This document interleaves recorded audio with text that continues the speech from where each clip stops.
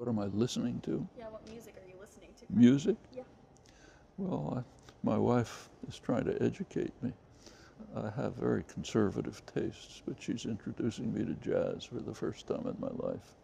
Some of it is just noise, but some of it I can begin to comprehend. She's trying.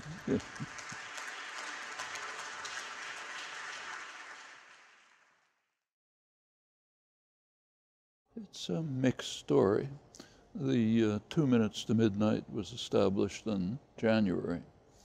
Uh, in March, two months later, the Bulletin of Atomic Scientists came out with a very significant article which should describe how we're a little closer to midnight. They, it was a careful discussion by leading specialists who pointed out that uh, the uh, nuclear modernization programs uh, started under Obama, under congressional pressure, now extending under Trump, uh, have actually uh, increased the, uh, what they call the kill ratio of weapons to, to an extreme point, up to the point where they say explicitly that the U.S. nuclear posture today is the posture that a government would have that is planning a first strike.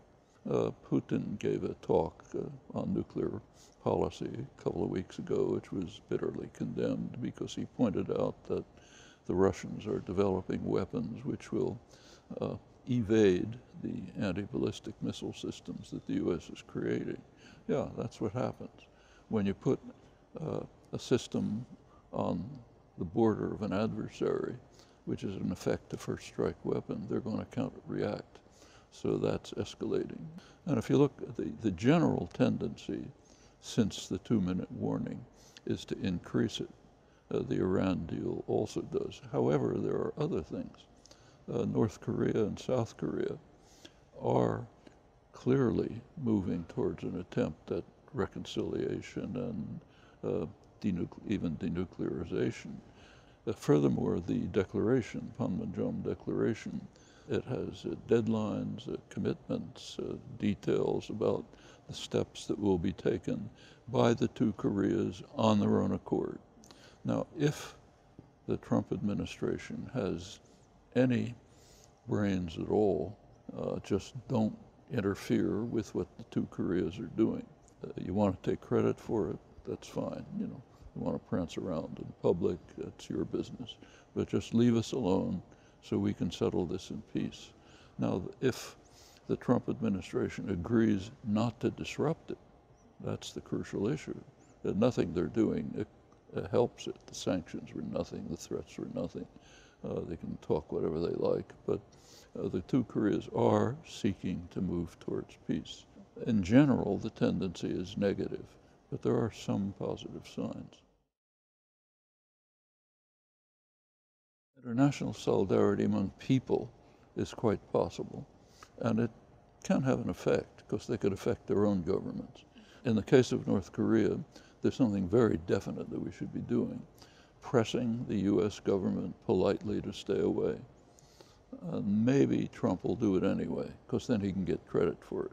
You know, he can get a Nobel Prize, uh, be a transformative figure of his, uh, you know, his, uh, go to Mount Rushmore or whatever he wants. Uh, in the case of Iran, the Europeans, in my opinion, are very unlikely to stand up to the United States. The United States is just too frightening. Uh, we don't think about that here, but the world is terrified of the United States.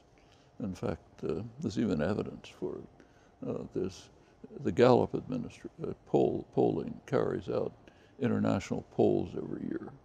One year, 2013, they asked a very important question, which they've never asked again because they didn't like the answer, I suspect.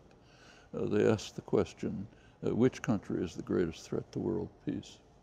Uh, the United States. Nobody, nobody else was even close, literally. That was the last time that question was asked.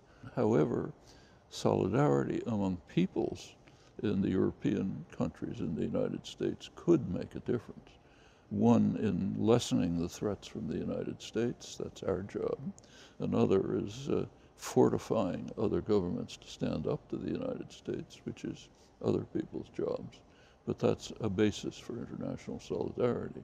It is in everyone's interest in the world to cut back the threat of nuclear war and global warming. I mean, one thing that is absolutely astounding, there is absolutely nothing like it in history.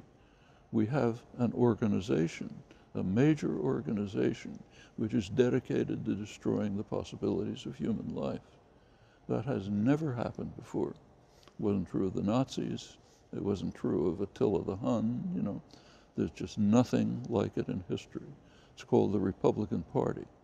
Uh, here's the most powerful country in human history, which is telling the world we're not going to cooperate in dealing with a devastating problem. We're going to make it worse.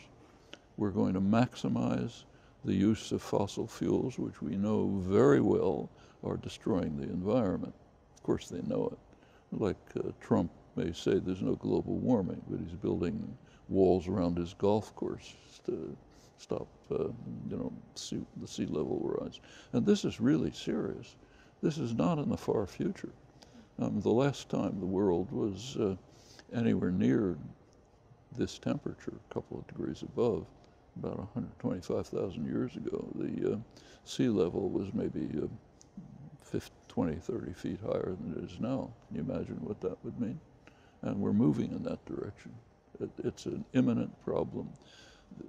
The, fact that this is happening is astonishing enough. The fact that it's not a headline in the newspapers every day is even more astonishing.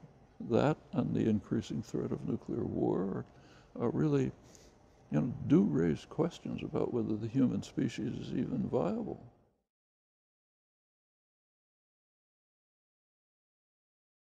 Uh, Bernie Sanders did something that completely broke with American political history.